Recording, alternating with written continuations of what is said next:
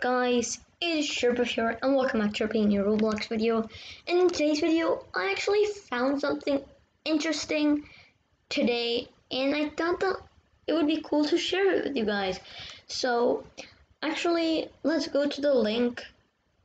So it's two-step verification dot roblox.com forward slash docs hashtag forward slash. Now, if we go there, correctly, if we go to the correct website, we would see this two-step verification, API, V1, platform interference for the two-step verification system and the metadata and all those stuff, other stuff. So actually Roblox is working on a new update.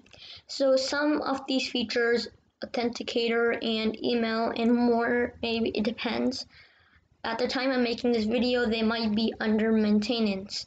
So you might see that it will show an error. Let's see what the error is. Yes, it says error 503. Two-step verification is currently under maintenance. So that's what it might show at the time I'm making this video. Maybe Roblox soon will update this, but Roblox is working on this. So if you didn't know, people were actually getting hacked at the time of making this video. People were getting hacked by a thing named social engineering. So how it works is suppose if someone really wants to get you hacked or something, they would try to get your information and like there's a thing where I'm not sure about this, but there's a website where it collects all your data and then after that the user who wants to hack you can basically see that and then after that get some information about you and like hack you. Again, I'm not sure about this. I just heard about this around on Twitter and stuff like that. So I'm not sure about this. But yeah, so you can see that they are working on email authenticators and configuration and metadata.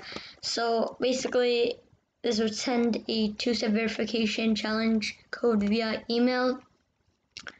So, and you can even, so basically what I heard is that Roblox is working on a thing. So basically before, when you make a ticket, it will ask a prompt and say like, for, for example, it would be, let's say, please enter this passcode so we can confirm that you have not been hacked that like I'm not sure about anything that Roblox is doing right now. I'm not a developer of Roblox or that so I don't know. No.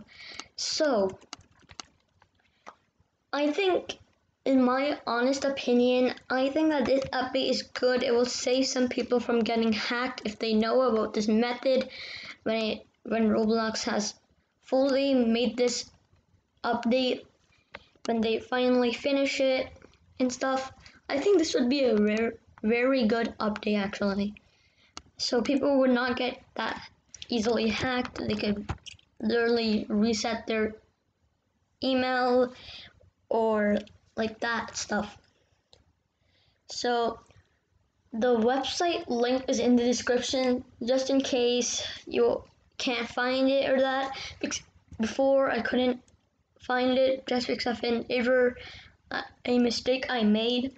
So if you just don't want to take that, if you don't want to do that, then you can go in the description and then go to the website link. But that's all for this video. Make sure to like and subscribe to chairbf and follow chairbf for more updates. I will see you guys in the next video.